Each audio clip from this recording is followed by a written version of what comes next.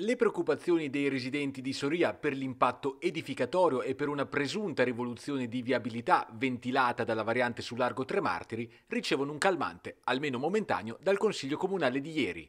La variante non è stata messa ai voti, è arrivata invece una sospensiva che ha ottenuto 16 voti dei consiglieri e mette la questione in stand-by passando per i prossimi consigli comunali e per l'assemblea di quartiere prevista mercoledì sera alla biblioteca di Baia Flaminia. Dal Comune, attraverso l'assessora della Dora e l'ingegner Moretti, è stata illustrata una delibera che dividerà in quattro comparti l'area interessata. In questi giorni ho sentito parlare di aumento della capacità edificatoria, invece vorrei sottolineare che c'è una riduzione di 600 metri quadri della capacità edificatoria rispetto a quella che era la previsione eh, urbanistica, ci sarà una, anche una riqualificazione ambientale dell'area ex Suzuki che appunto come ho sottolineato prima è una delle porte principali della città di Pesaro. Ricordo a chi è in questo consiglio comunale o a chi lo era prima prima che quell'area è stata oggetto di eh, ordinanze antidegrado, è stata oggetto di occupazioni abusive, quindi insomma mh, faccio memoria di quello poi che erano state negli anni le lamentele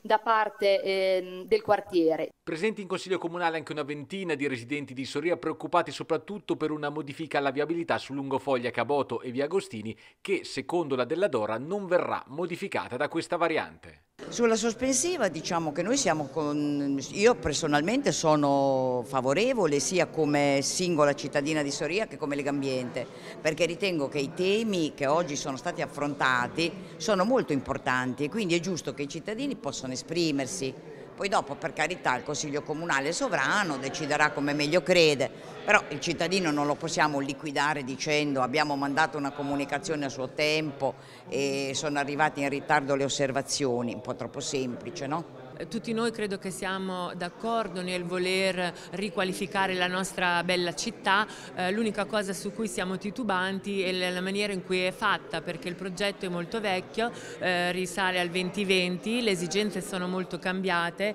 eh, a differenza del, di magari degli ingegneri che eh, studiano sulla nuda carta, noi eh, abbiamo, possiamo apportare l'esperienza di quello che viviamo quotidianamente nel traffico di Ussoria, eh, per cui eh, speriamo diciamo, con questo rimando di poter apportare con i nostri giudizi dei miglioramenti eh, sul piano di riqualifica del quartiere, a cominciare dalla non chiusura di via Caboto eh, che comprimerebbe il traffico all'interno di via Agostini. C'è stata la possibilità cioè,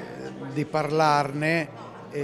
e, e quindi eh, una sospensione sarebbe stata quanto mai opportuna avrebbe consentito un, un miglior confronto, e invece il quartiere, cioè i residenti, dovranno accettare una situazione già presa, però ognuno si assume le sue responsabilità, come io mi sono assunto le mie nel non aver saputo interpretare le comunicazioni relative a questa variante e poi ognuno, cittadini, amministrazione, ognuno si assumerà le proprie. Ora la discussione si sposta in un confronto con i residenti nell'assemblea di quartiere di mercoledì sera. Ovviamente non potrà essere stravolto, ma sicuramente qualche miglioramento eh, dalla voce corale che può portare l'esperienza dei cittadini può essere apportato. Io spero che